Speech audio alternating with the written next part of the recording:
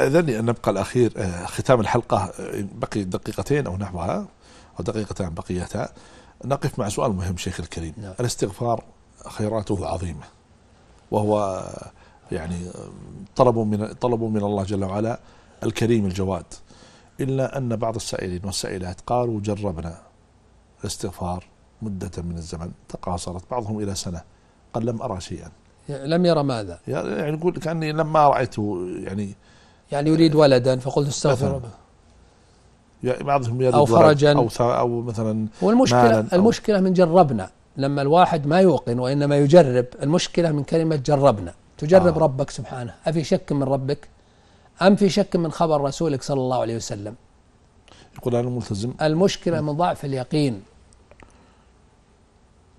الله سبحانه وتعالى أعلم وأحكم ومهما طال عليك البلاء أو الحرمان الذي تجده من مال أو ولد فقد يكون خيرا لك. ما تدري لو جاءك ولد ووراك المصايب.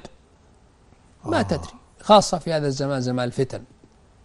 الإنسان لا شك يصبو ويرجو الولد ويصبو إليه ويلتمس الطرق الشرعية لكن لو ما جاء يحتسب ويعتقد أن ذلك أن الله أراد له الخير. ولا يجوز له أن يسيء الظن بربه أو يشك في وعده أو وعد رسوله صلى الله عليه وسلم. صلى الله عليه وسلم. فإن من يتق الله يجعل له مخرجا ومن يستغفر الله فرج الله له. ومهما طال الوقت كل الزمان الطويل عند الله لا لا يساوي شيئا. إن الله سريع الحساب. نقول مرة أخرى ومرارا بيقين استغفر وادعو وانتظر الفرج واصبر على ما أصابك. آه، طبعا التجربة هنا لا يشترط أن يتلفظ بها لو لو, لو استقر نعم في حتى قلبه لو كان في قلبه. يؤاخذ بها. يقول أشوف. بعضهم يقول أشوف إن كان ولا ذهبت إلى ساحر ولا ذهبت كذا في قرارة قلبه والعياذ بالله. آه، شيخ الكريم هل أفهم من حديثكم؟ ما أدري هل فهمي صحيح؟ أن الاستغفار آه، مثل الدعاء وللداعي كما هو معلوم ثلاثة أحوال إما أن تجاب دعوته نعم. أو يدفع عنه نعم السوء جاء نعم في الحديث أو الصحيح. تدخر له هكذا. حديث أبي سعيد نعم إما كذا وكذا. اي لأنه نوع من السؤال.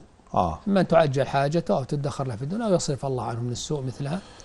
نعم. وكذلك قال ابن القيم رحمه الله الدعاء ك يعني السيف والسيف بضاربه. بضاربه يعني بحده بضاربه بحده وضاربه.